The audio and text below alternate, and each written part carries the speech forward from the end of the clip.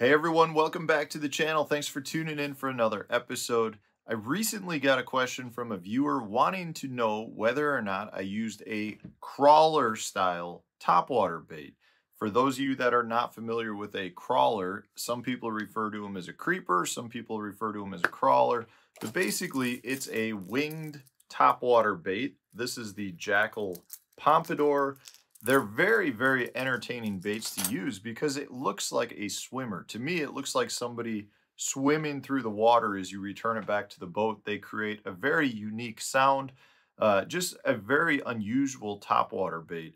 And the simple answer to that question is yes, I absolutely do use uh, creeper style or crawler style topwater baits but I say that because uh, I say that with a little bit of caveat because I've got very specific times when I like to use them.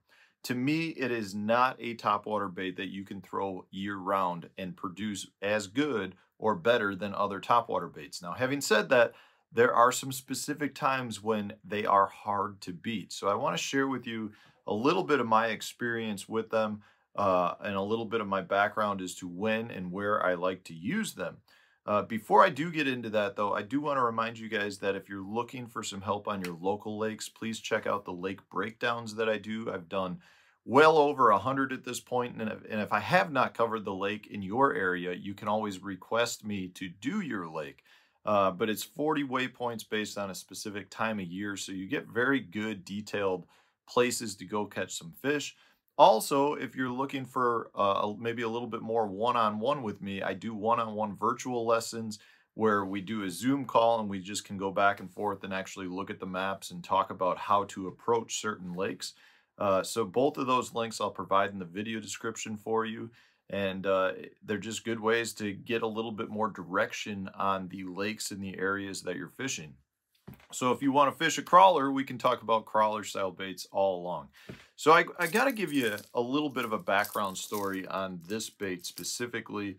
You know, the Pompadour's been out for, uh, I'm going to say probably seven or eight years. Maybe I'm wrong on that. Maybe it's been a lot longer, but I feel like it really kind of hit the scene back around like 2015. And uh, the one of the first times I ever saw it in action, I was I was practicing for the U.S. Open, the WON Bass U.S. Open on Lake Mead. I want to say it was like 2015-ish. Uh, and one of the other Bridgford team members is Joe Uribe, and his dad, Joe Uribe Sr., uh, was there with Joe. And I said, hey, do you want to jump in and, and practice with me for a day? It was the first time I ever been at Lake Mead. And this is one of the baits that he pulled out. He's a phenomenal fisherman. The whole Uribe family, uh, Rachel, Joe Jr., Joe Sr., they're all phenomenal fishermen. So when he pulled it out, it really caught my eye because he's not just going to pull out anything that's not going to work. Like that's how good of a fishing family they are. So we were going down the bank fishing, and in my head, I'm like, I just don't feel like this is the right time to be throwing this.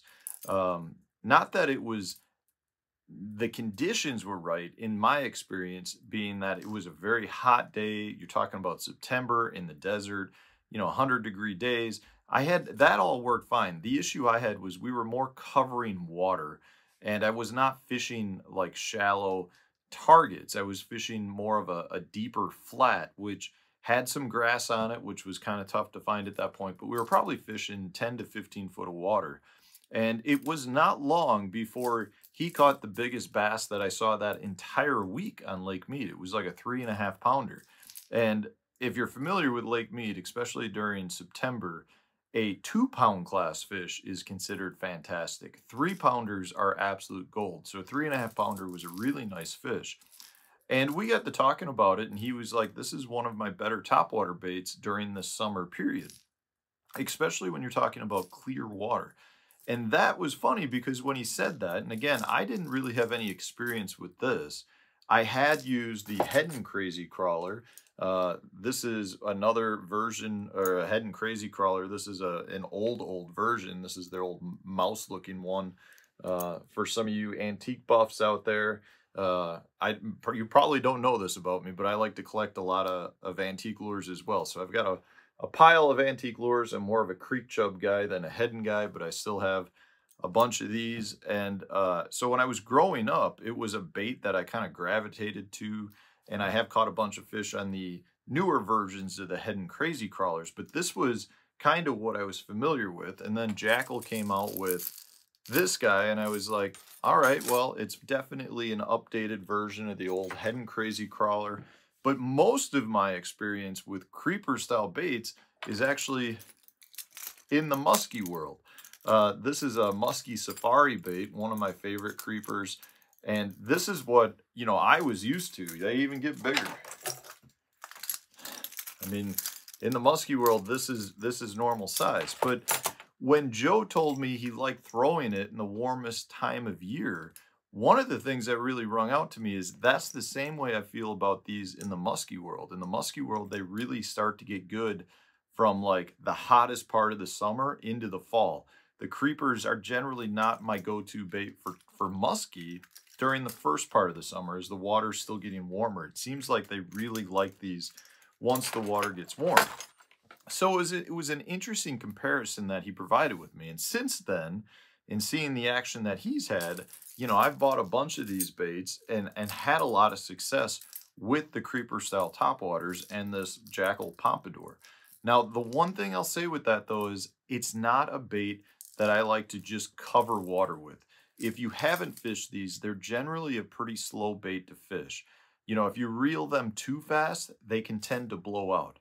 So it's more of a bait for me that I like to fish around specific targets that I think the fish are holding on, or if I'm fishing flats where there are fish that I'm, you know, that I know are there, which is basically what happened when I was fishing with Joe Uribe on Lake Mead. The flat where he got that bite turned out to be one of the best areas that I fished, and I ended up finishing like I think 26th or 27th out of 200 and some boats in that tournament. And I caught a pile of fish where he caught that big fish. So we happened, he happened to find that spot with this bait while we were fishing. And it turned out to be, you know, a good, on Lake Mead, a 10 to 15 foot grass flat's kind of a shallower flat to begin with. But I like to throw these baits basically in areas where I feel very confident there are fish. Uh, so like I said, isolated targets, whether that's a laydown, maybe around docks, maybe an isolated patch of grass, or I like to fish them and creep them over flats where I know there's fish. Uh, and the other thing I'll add to it is I prefer them in clearer water. Now, I'm not saying gin clear water, but I like to have a couple feet of visibility or more. It just seems like this bait has very good drawing power the clearer the water gets you can draw them up from further. And I think that has to do with the fact that it's a slow moving topwater bait and it's very tantalizing. You know, the bait, like I said, there's not many other baits that actually have as much motion as these as when they come through the water, side to side, up and down, and rotating motion.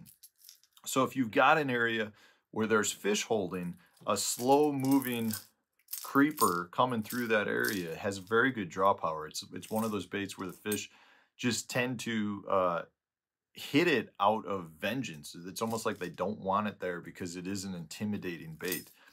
So that's that's the those are the main areas I like to fish it. But I would add that it's a very good bait to throw during the springtime as well. When you know there's bass on beds, it's a good bait to bring over because of the fact that it's a slow moving topwater bait. So if you've got a bass that's guarding a bed or a female that's hanging around a bed, or you've got fish that are starting to guard fry, generally speaking, a slower moving bait is better through those areas because the fish feel more intimidated by it. They feel like it's more of a threat to the eggs or to the fry. And this can be a really good bait. So there's generally like a, I don't, I don't know, a month long period in the spring where I do like to throw it.